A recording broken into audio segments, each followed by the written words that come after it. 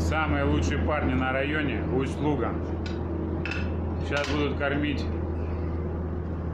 нормальных пацанов.